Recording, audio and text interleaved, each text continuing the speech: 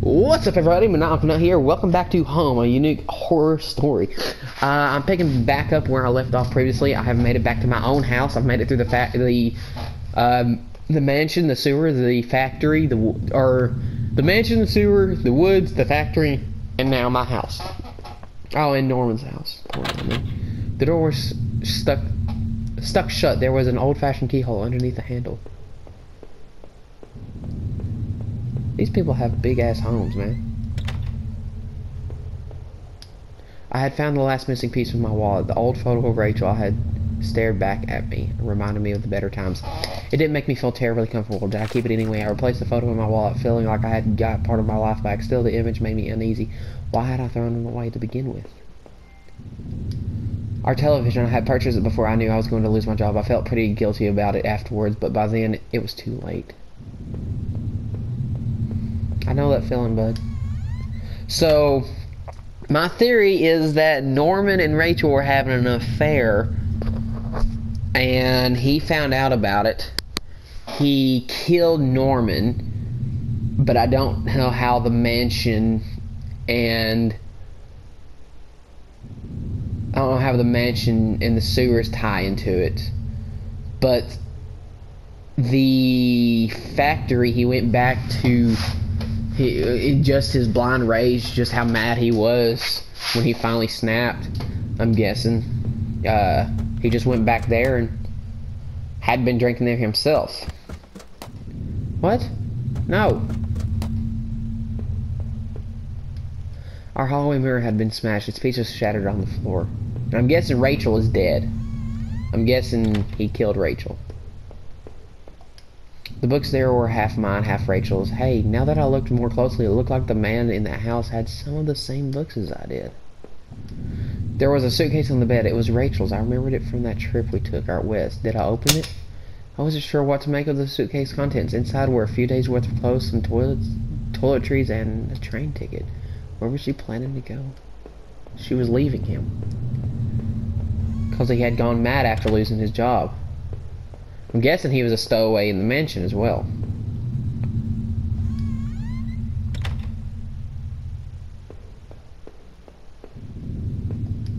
The laptop had been left on and only had a tiny bit of power left. On the screen was a website around the old water tower. There was a key on top of the drawer of my desk. Did I take it? I pocketed the key. The laptop was warm. It had been running for a while. Hmm.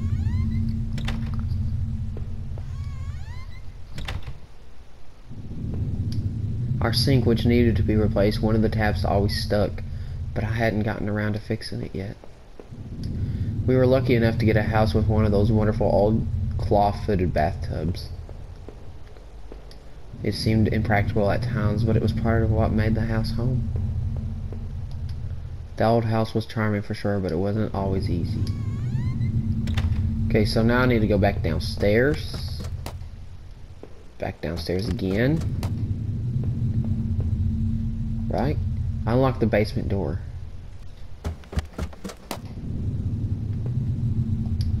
There were old Christmas decorations in the box. I couldn't even remember our last Christmas.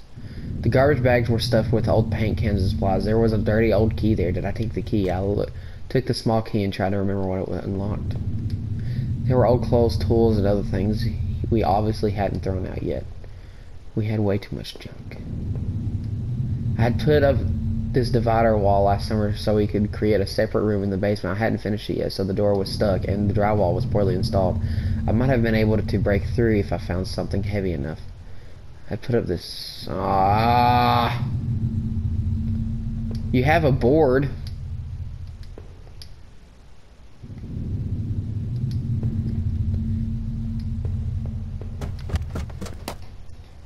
What am I missing?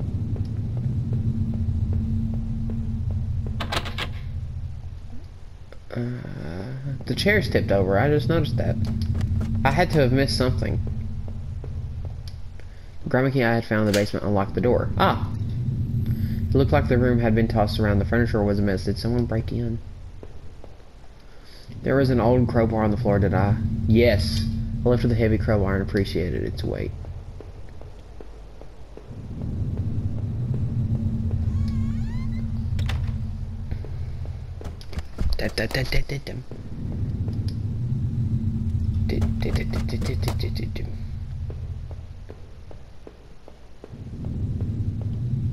Did I break through the wall with the crowbar? With a heave, I swung the crowbar in the wall and smashed a hole, a hole large enough to step through.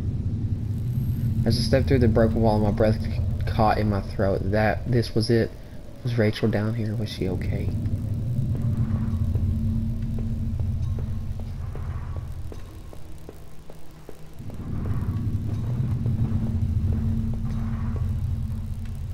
Don't look.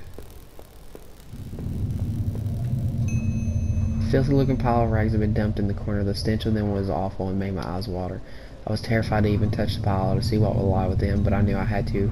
I had come this fall after all the searching, after all I had seen. When I looked within the rags, did I finally find my Rachel?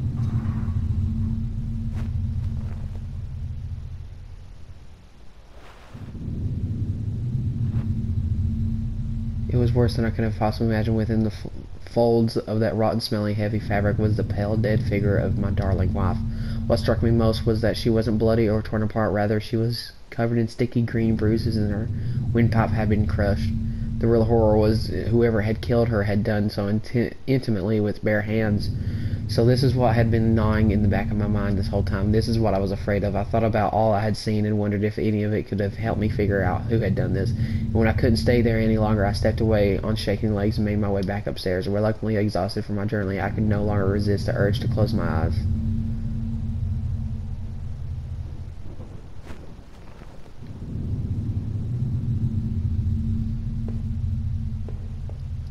Maybe I Mm-hmm. would use some of Rachel's travel books and find some place to go. It was my wallet with its contents had. Either I dropped that stuff or somebody else did. Maybe I was sleepwalking it, or maybe someone st somebody stole it from me. Norman's store, that forest, the water tower. Was I at those places before? I didn't see how it could have happened with any other way. I must have been the one to lose my wallet and its contents, but what does that mean? Here it was decided. No matter what, I needed some kind of escape. This was the old photo of the other man and his wife, I assumed. I found it in that house. I recall those faded remains I had found deep underneath the house. What had he done there? Well, what did I think? Mom wasn't sure, but the poor old bastard was good and dead. He was a victim, not a criminal. But who had killed him? A few broken pieces that remained in the mirror, I could see my face had grown pale and weak. I couldn't bear to look at it again. It was like I didn't actually expect that reflection. I felt empty and drained. The reflection in that gremlin glass was only a shadow, a whisper. I still love the old-time charm of that cloth-footed bathtub, though it seemed like cold comfort then.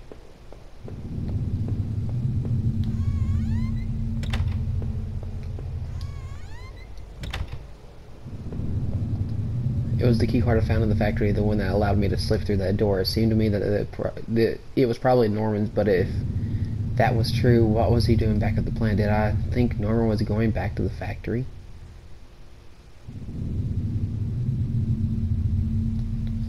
Yes, it must have been him. He must have been using the old locker room. The laptop had finally run out of power.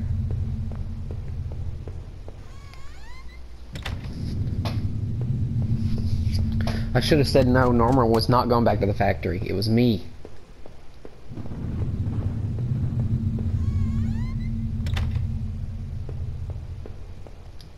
My old office safe sat on the floor. I used to keep the tax records and other important documents in it. I used a digital passcode lock, but I didn't have the code. Maybe I had left it somewhere. I leafed through the notebook I had taken from the forest. In it were the names that had been written down. Heather, Olivia, Ashley, Cheryl, Iris, Daphne, Holly, Rose, Rachel. Recalled the names I saw scratched out on that old desk. Deep within those musty tunnels, was the man in that house really up to something? If I could find the code for the safe, maybe I could still open it. Oh my god. I love this game. It's wonderful. It was a letter I had taken from the post box. Who had it out for Norman? Who sent him that letter? It must have been someone from the neighborhood, or at least somebody wanted to look that way. I wasn't sure what to think. Did Norman... Did he murder Rachel? No. Norman had ended up dead himself. Whoever sent that threatening letter must have got to him. But who the hell was that? I still had no idea what was on that tape I had found in the garbage. If only I had found a way to watch it. From now on, I'd have I'd have no one to get angry with me for stupid things like buying this TV. Oh, there were so many things I missed! Ah! Seemed like I had seen all there was. Maybe I thought I was ready to go back to the basement. The mail still sat there heaped on the floor. How long had Rachel been lying in the basement? God, I missed so much! There would be no more dinners here, no more chit chat over breakfast, at least not for us.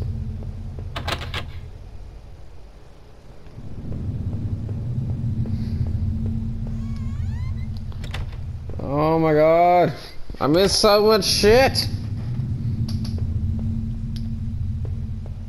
Oh, I can't even examine any of that shit anymore. I needed to put an end to the situation one way or another.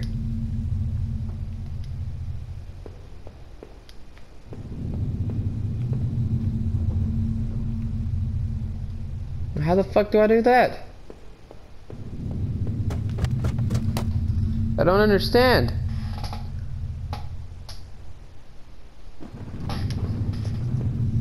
Okay, can I go out the front door? There is nothing for me here anymore. No reason to stay in that house. Did I leave? Never to return? Yes. Living in this town hadn't been easy. The plant had helped in some way to stay grounded. It kept me in line, gave me something to do, and helped me get away from the past. When the factory closed, everything changed. I guess that was when I had started sleepwalking, disappearing for hours at a time. I had MRIs and piles of doctor's report, but nothing seemed to help, not even drinking. But I swear I had tried to give it up, and I know it. The sleepwalking never really went away, though. But I know Rachel had tried. I know she had tried to be there for me, even when everything was falling apart. This night had unearthed terrible truths, but I knew it was a final act of a long-standing horror I'd been living. Waking up in the house tonight was the final cruelty I wish I had remained unconscious in that room forever. I wasn't sure what had happened to that other man I had found in that house. He seemed to me more a victim, but what was his role in this? Now that I had thought of it, those sewers were a terrible mystery. What had happened there? I was lucky in my way to even find my way out of there. But I never did find out what was on that tape that I know I kept, that I now kept what might have shown me. I had found the contents of my wallet scattered throughout the town. Why the hell had I been out there? Had my sleepwalking gone to some new extreme? The thought that I couldn't account for my whereabouts, but knew I had been to that forest and even Norman's place, well, was terrifying. I didn't know what this meant, but at least I had to recover my things. Hopefully, I thought that they would cover my tracks, so I wouldn't be blamed for all of this. Deep within those wounds, though, there was a thing that became truly awful. Finding that notebook only made things worse. Rachel's name had been on that list, so what terrible plot was she part of? There was a similar list of names on that desk back in the, those tunnels. What was the connection? It was clear at least that Norman had been going back to the old plant. Maybe he was the one who had boarded up that locker room, who had been drinking up there in that secret hiding place.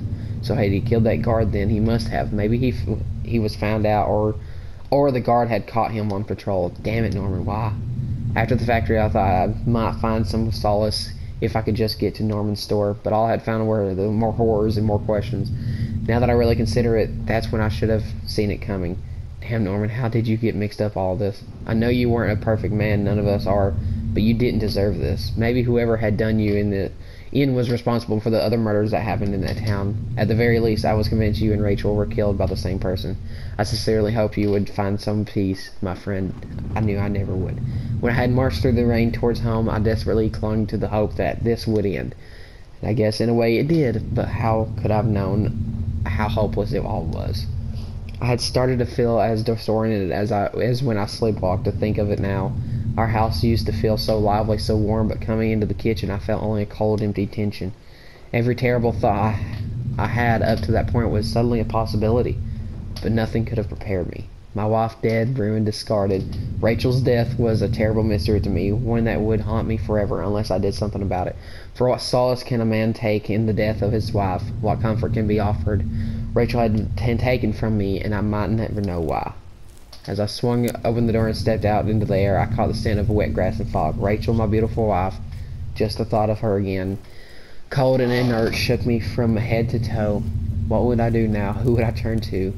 It would only be a matter of time before the police got involved, before the neighbors knew. The front lawn was soft and given beneath my feet, and I couldn't shake the urge that I shouldn't stand there, but rather that I should run.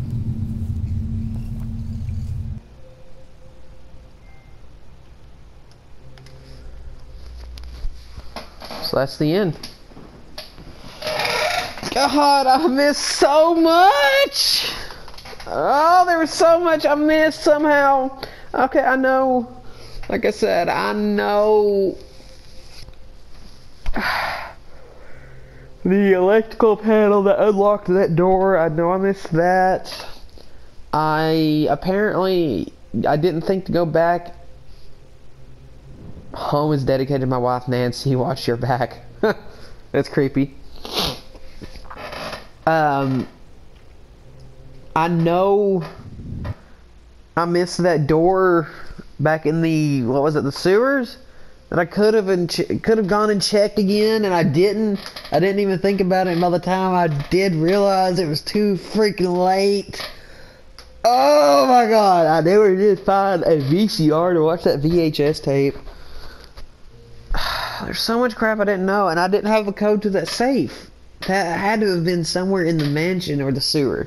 I'm sure of it maybe even the maybe even in the factory behind that door since it's where I used to work. Damn, man. Anyway, so that's the end of home for this time around. Um, I may go back and do a few uh, mix and match videos showing what I missed. Um, maybe if if I get time in between my other in between my other recordings, because um, I really want to know what was behind all the other stuff. I really want to know the whole story. I want to know what was going on with Rachel and Norman. What was the final straw for him to snap? Because I know Rachel and Norman were having an affair. I know that had to be it. Um, I was definitely the killer. I mean, there's no doubt in my mind about that. So, you know, I just really want to... I really want to see what happens with all the other stuff piled up, all the other evidence. But um, yeah, that'll that's the end of home. You guys, this is a great game. Check it out. You know, I mean, I didn't show everything. I mean, if you watch this, you know the big ending, but there's so much more to find that I did not find that if you played through this, it would be totally worth it. Like I said, it's only like I think I bought this for $2.43 on the PlayStation Store on the PS4. So it's not too expensive. I think it was on sale. I think normally it's like $2.99. But still, totally worth it. as you see, it's a pretty long game too. Um, it took me three videos, one 25 minute, one 40 minute, and this last one's about 25 minutes almost. Uh, more like 20, but um, anyway, leave a comment in the section below of any any tips you may have of the things I missed. You know what they were. Go ahead and let me know if you know. Tell me, please. I am so interested in stuff like that. Uh, or if you had a different theory about him not being the killer and know a few other things that I do not, please enlighten me. I, like I said, I love stuff like that. I love finding out new information about these small open-ended games. Um, and as always, hit that subscribe button. Make sure you don't miss a single video I have coming out. I have uploads every Saturday between noon, uh, noon Central Time. So I think that is 11 a.m. Uh, Pacific Time. I think. I'm, I'm kind of bad with time zones here. but between noon and like 4, I have videos uploading throughout the day on Saturdays. Um, I'm going to probably do every other weekend. So you don't want to miss a single video I'm uploading. I'm going to upload it as many as I possibly can each Saturday that I upload. But until next time, this is ManiacalNut over and out.